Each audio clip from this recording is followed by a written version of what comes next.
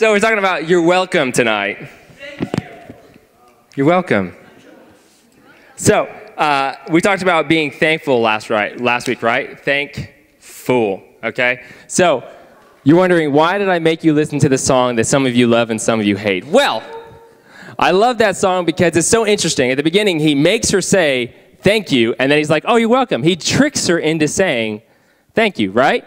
And then the whole song, he's he's alluding to the fact that she should be welcome, right? Because of all the things I did for you. Like, you're welcome. But she didn't even care what was going on, right? Because she was like in this fog. He was kind of tricking her, right? And it's kind of the same way uh, as you joke with people, right? At work sometimes, there's somebody that can't do something, and I make a fool of them, and I go over and I do it, and then I'm like, you're welcome, right? Like, I'm not really, he's not really thankful, but I say you're welcome. So, why is it you're welcome when we're talking about thanks? Everyone say thank you.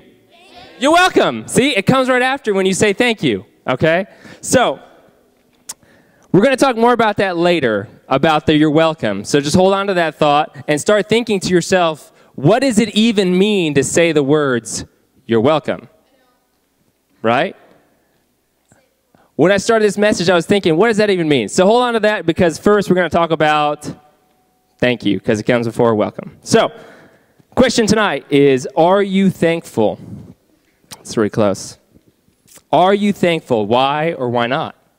First off, before I get started, uh, I missed you all last week. If you didn't know I wasn't here, uh, we were we were infected with the COVID, so uh, we are now clear and free. And I missed you guys last week. I'm so glad to be back here. Um, so before I miss that, I want to tell you guys because I always miss it when I'm not here. So are you thankful? Right? I'm thankful to be here tonight.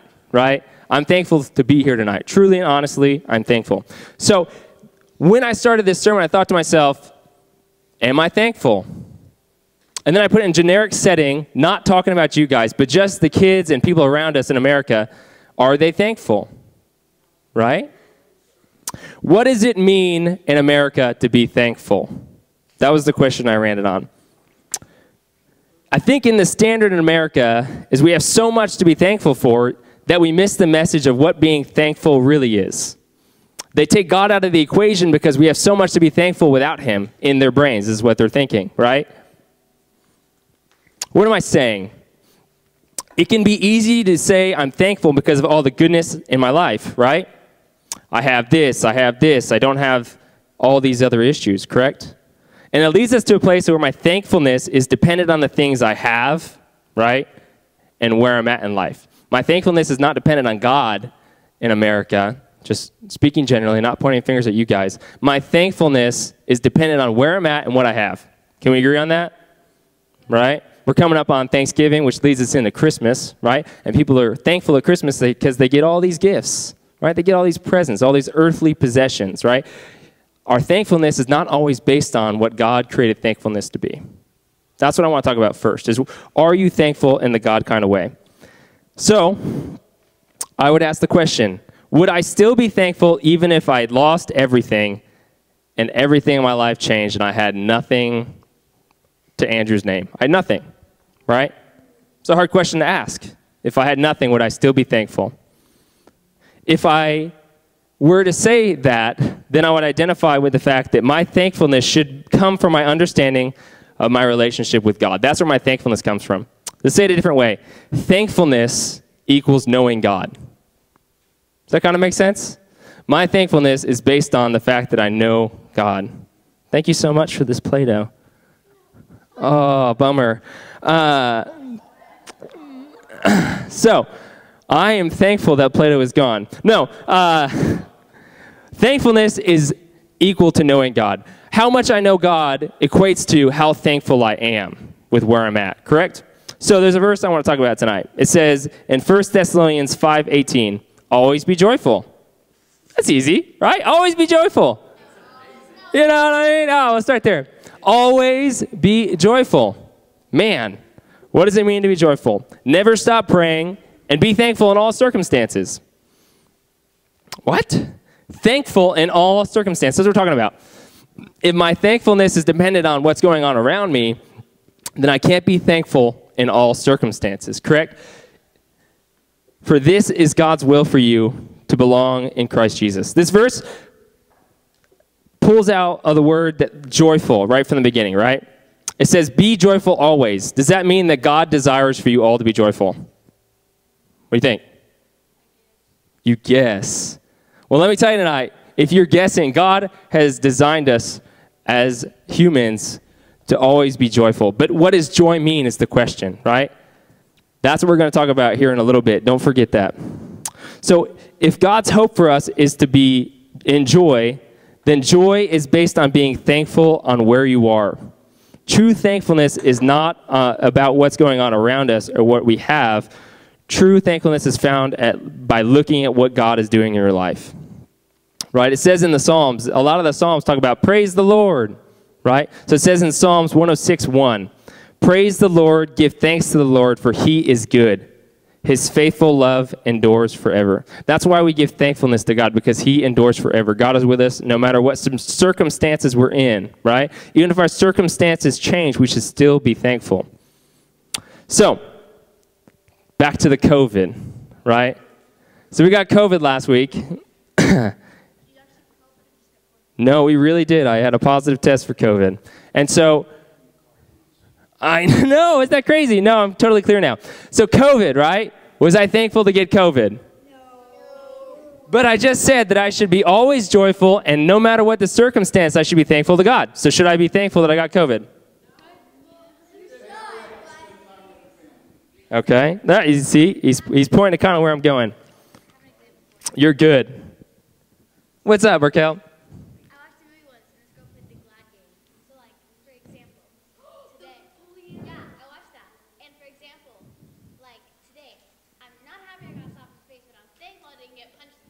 All right, so, so there's, okay, yeah, yeah. All right, so, should I be thankful about getting COVID, right? In the eyes of the world, right, I now have a sickness. I still currently can't smell or taste anything, which is the worst. Uh, by the way, if you get COVID, don't eat McDonald's because it tastes disgusting when you can't taste it.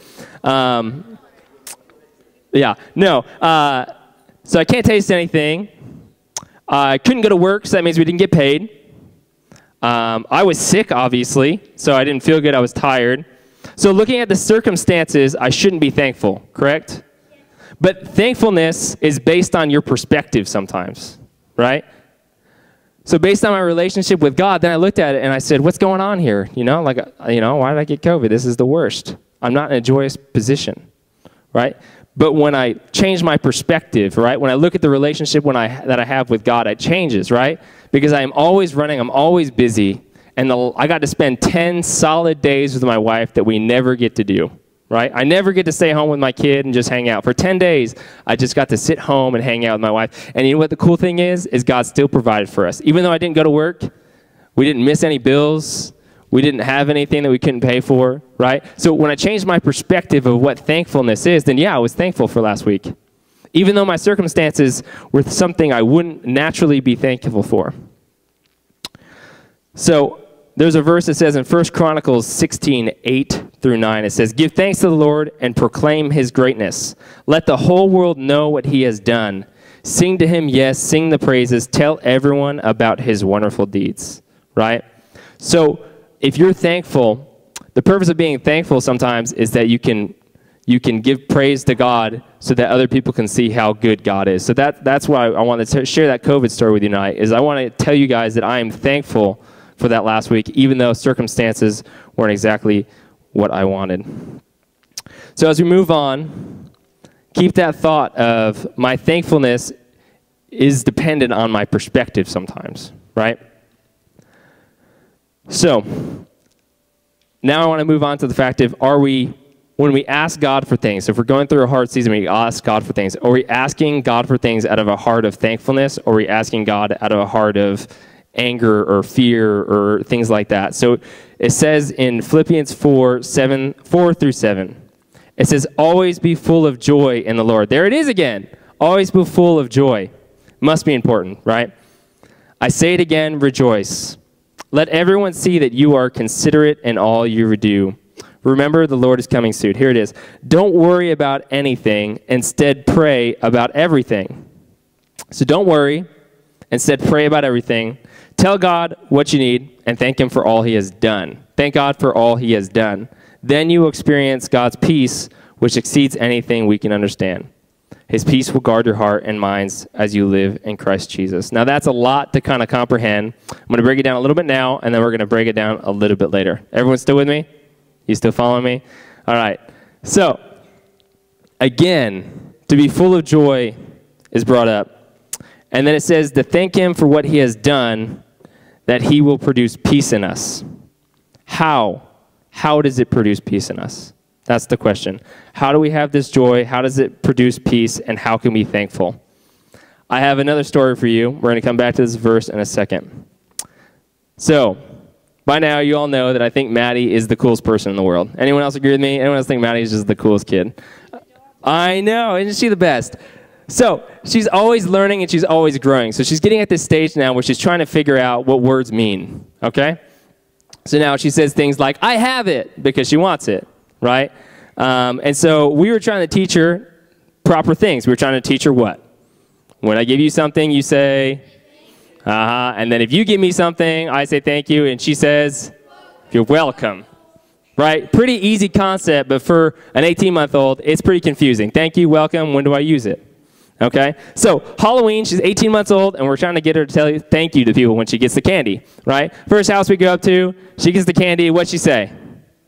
You're welcome, right? Not thank you, she says, You're welcome. Okay? Go to the next house, I'm like, Maddie, say thank you. And she's like, You're welcome. I'm like, oh man, and that went pretty much the whole night. And the last person, she went, she walked up to the house, and this lady was so sweet. And uh, the lady gave her a piece of candy, and Maddie looks at her and goes, "You're welcome." And it's just the cutest thing, right? Um, but what's interesting about it is, is that lady then looked at my daughter and she's like, "Wow, she's so special," right? I was like, "Oh, thank you, whatever," because she realized that she didn't know what it meant, right? She was trying. Okay, so you're welcome. Um,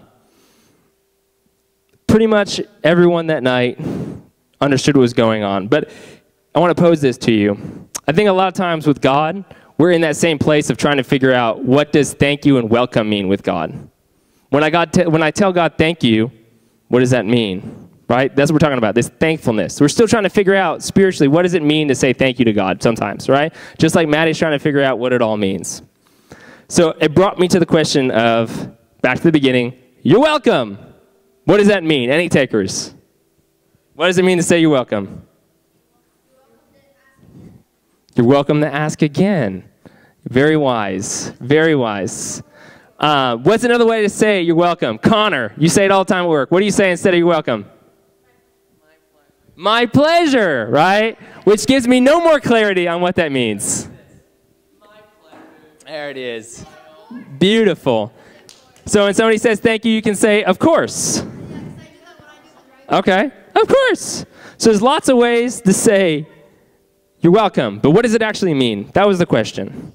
So, of course, Caitlin, being as smart as she has, has kind of hit it. So, oh, is it up there? Ah, oh, see? Okay. So, you're welcome.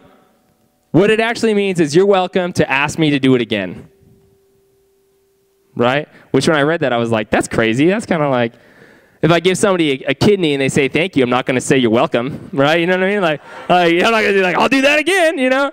Uh, I thought that was interesting, right?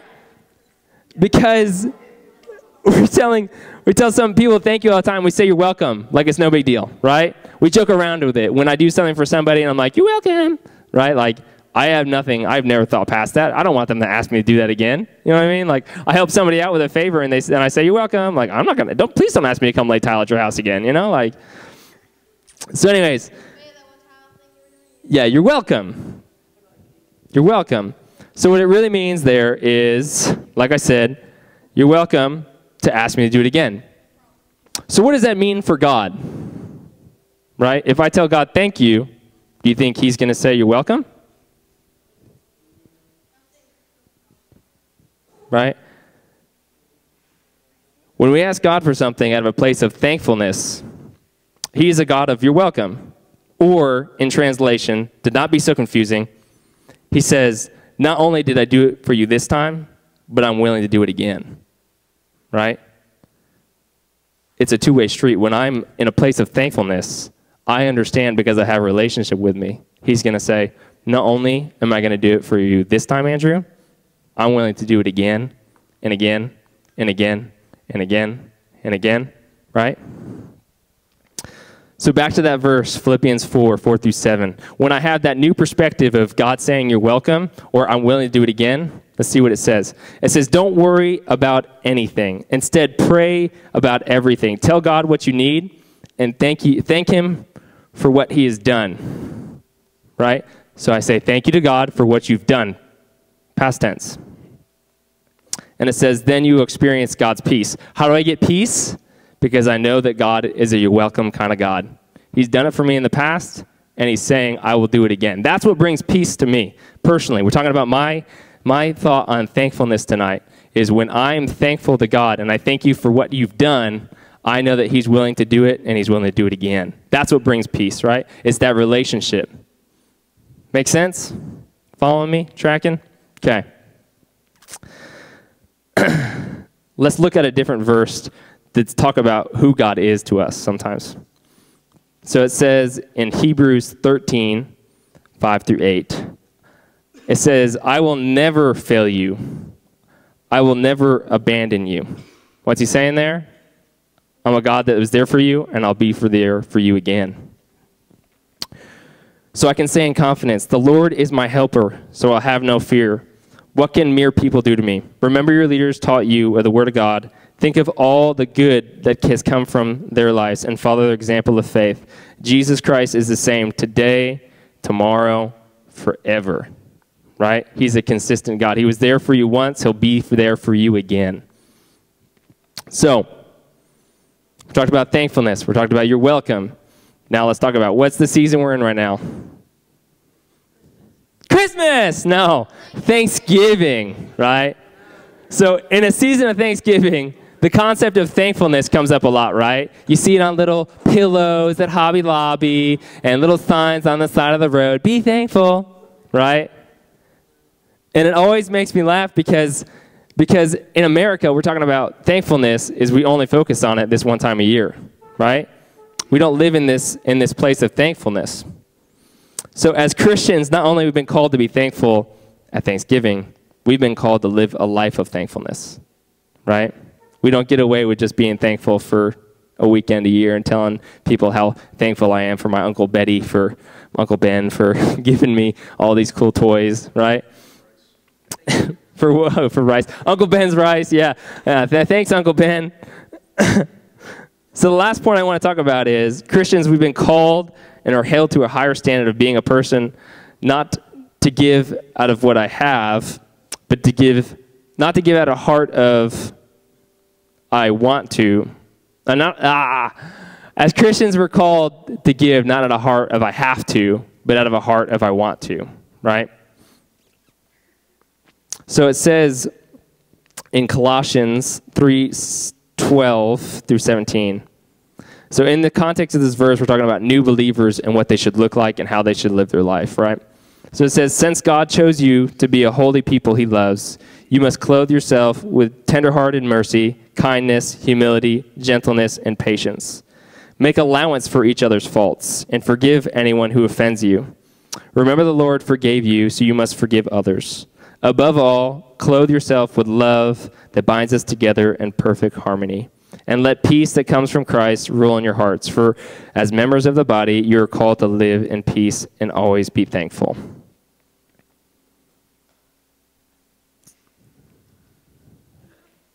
Yeah. Uh, let the message about Christ and all of its richnesses fill your lives. Teach and counsel each other with all wisdom he gives. Sing psalms and hymns and spiritual songs to God with thankful hearts. And whatever you do or say, listen to this, do it as a representation of the Lord Jesus, giving thanks through him to God the Father. All that being said, it's talking about what your life should look like for others. As we're talking about being thankful and sharing that thankfulness with others, right? When people see us, they should see us, as it says there, as a representation of the Lord, right?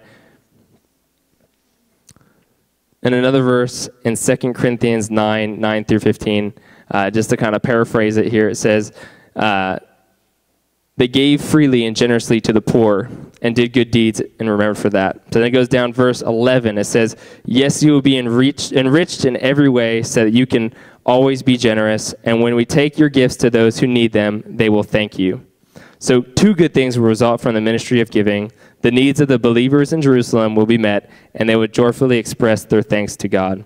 As a result, your ministry will give them glory to God, for your generosity to them and all believers will prove that you are obedient to the good news of Christ, and they will pray for you with deep affection because of the overflowing grace God has given you. Thank God for the gift, too wonderful for words. So when you give to others in this season or in any season that we're called to, right? Not only does it bless that person, but it forces them to see the God inside of you and cause them to be thankful to God. That's what we're, that's what we're talking about, is sharing the thankfulness of God, right, in this season. So the question I have for you tonight to leave you with, if you followed me through this whole message is, are you a person, be a person of you're welcome, right? Do you follow what that means? Be a person of you're welcome. So don't just be willing when somebody says thank you, know that you're saying that not only will I help you in this time, but I'm willing to do it again, right? That's the true heart of thankfulness, is when I'm not doing it as a one time favor. Now, the kidney thing's a joke, right? But as a Christian, I'm called to help others in this season and all seasons, all year long. But be a person that is being thankful throughout the whole year and saying, hey, I'm willing to help you, and I'll do it again. Let's pray. Father, we thank you so much for your word, and we thank you that uh, you are such a good father to us, and we know that we can trust you, and we can be thankful for what you've done for us because we know that you'll do it again. It's so encouraging in this time where we don't really know what's going on and, and all this COVID stuff and all these things that are shifting and moving. We know that you are there for us. It says you're there for us today, tomorrow, and forever, never changing. And we know that you are our constant, and that's why we are thankful. That's why we live in a, in a place of peace, is because we know you're there for us. We just ask that you would help us to be more like you in the fact that we are, are being thankful and giving out of a heart uh, that is like yours. And we just ask you be these kids as they go and have this Thanksgiving time and have this break. They can just reflect on the fact of uh, we have so much to be thankful for, but let's not miss out on the fact that being thankful, uh, we have to look and see what is God doing in our lives. It's not just what we've been given. It's not about the circumstances around us. It's about just being thankful for who you are in our lives. We just thank you. We love you for everything. In Jesus' name, amen.